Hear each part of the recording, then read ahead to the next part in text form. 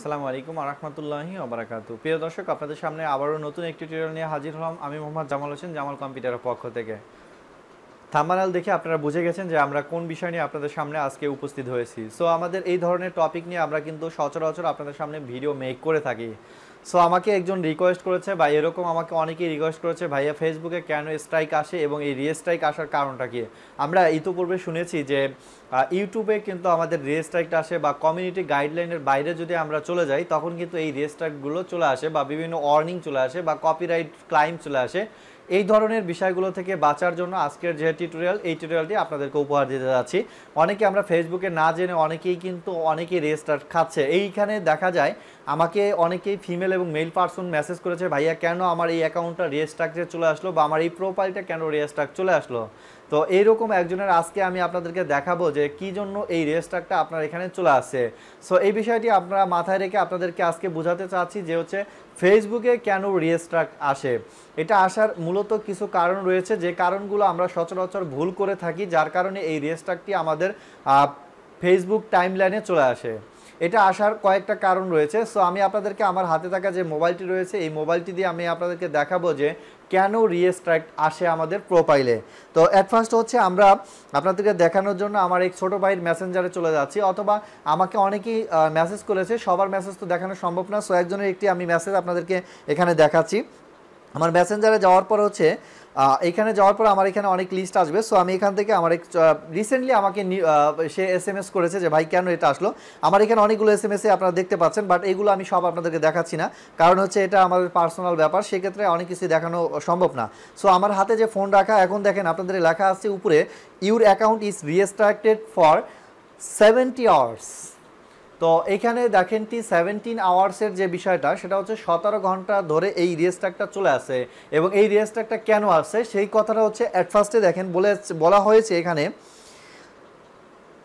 you can not do certain this because your account or uh, one it did not follow your community standard. তার মানে আপনি বুঝতে পারছেন যারা শিক্ষিত, তারা অলরেডি বুঝেই গিয়েছেন যে কেন এই স্ট্রাইকটা রিস্ট্রাইকটা আসলো। এক কথা হচ্ছে ফেসবুকের যে স্ট্যান্ডার্ড কমিউনিটি গাইডলাইন রয়েছে, সেই গাইডলাইনের অন্তর্ভুক্ত বিষয়ে আপনি ছিলেন না। এর বাইরে গিয়ে আপনি কাজ করেছেন, যার কারণে আপনার এই অ্যাকাউন্টে রিয়েস্ট্রাইক প্রবলেম হয়েছে। এখন এই রিয়েস্ট্রাইক প্রবলেমটি কেন আসছে, সে বিষয়টি আমরা আপনাদেরকে দেখাচ্ছি। অ্যাট ফার্স্টে হচ্ছে দেখেন পাঁচই মে দুই হাজার বাইশ, বলা হয়েছে যে your comment did not follow our community standard তার মানে হচ্ছে আপনার যে কমেন্ট ছিল, সেই কমেন্টটা অবশ্যই কমিউনিটি গাইডলাইনের বাইরে থাকার কারণে আপনার এই প্রোফাইলটি রিয়েস্ট্রাইক্টে চলে আসছে।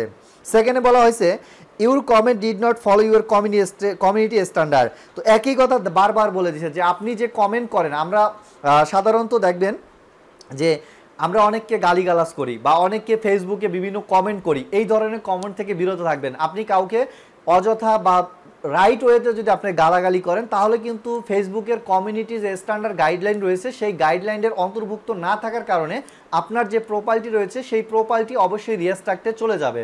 সো এই এইখানে আপনাকে খেয়াল রাখতে হবে, কাউকে ইন ফিউচারে কোনো গালি দেওয়া যাবে না বা কাউকে এরকম খারাপ মন্তব্য করা যাবে না, যার কারণে আপনার অ্যাকাউন্টটা চলে আসে রিয়েস্ট্রাক্টে তো সো এই বিষয়টি আপনাকে খেয়াল রাখতে হবে। অনেকে আমরা মনে করি, অনেকে বলে যে, ভাই, আমি তো কিছুই করিনি, আমার কেন রিয়েস্ট্রাক্ট আসলো? অবশ্যই আপনি করছেন। কেননা আপনি হচ্ছে কোনো কাউকে ফাজলামি করে বা আপনার কোনো বন্ধুকে বা বান্ধবীকে আপনি ফাজলামি করে কি করছেন? আপনি একটা কমেন্ট ছুড়ে দিয়েছেন।